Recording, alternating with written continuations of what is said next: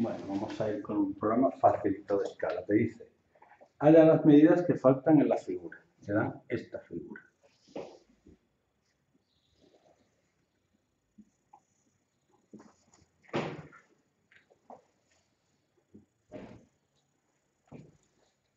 Esto mide 50. Esto mide 125 esto mide 230 y esto mide 60 metros, metros, metros y metros. ¿Se puede calcular o no? ¿Y qué tengo que aplicar? Pues este triángulo es semejante a este, porque esta línea es paralela a esta. ¿Vale? Entonces, me piden calcular lo que mide de aquí a aquí, que le llaman A, y lo que mide de aquí a aquí, que le llaman B. ¿Puedo calcularlo o no? Claro. ¿Cómo? No. Si te da yo lo que hago muchas veces es dibujar los dos triángulos por separado. El chico y el grande. No salió semejante, pero bueno. Y sé que esto mide 50, que esto mide 60, que esto mide 125 y que esto mide 230. Y a esto le llamo B y a esto le llamo A. ¿Con qué aplico tales? Me van a traer un paquete en 3, 2, 1. 3, 2, 1, así que no sabía. ¿Eh? Que no hacía 3, 2, 1. Bueno. Vamos a ver.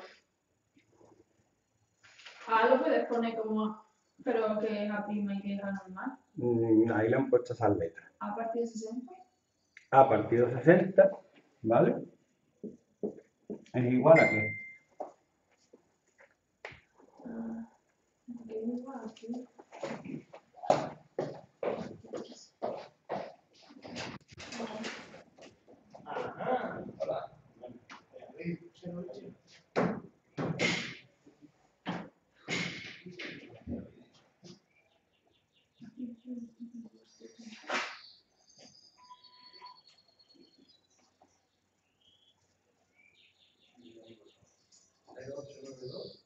Ajá,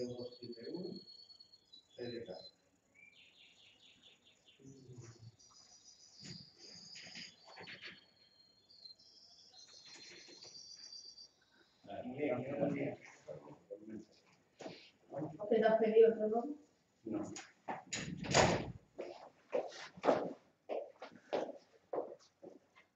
¿Y un libro? ¿De la carrera? Mm, no.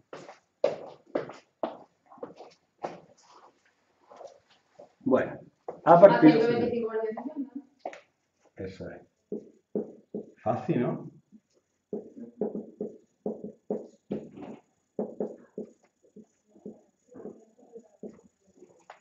En cuanto le pillas tranquilidad.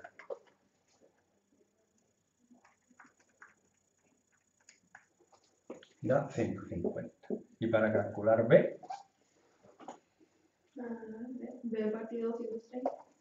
¿no? B partido 230 es igual a. Pero eso ahora que es igual, se pone lo mismo.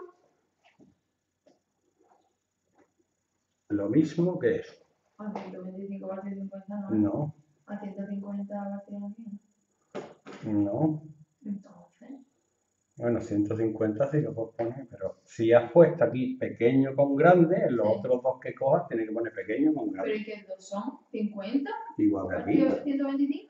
Sí. Ah, vale.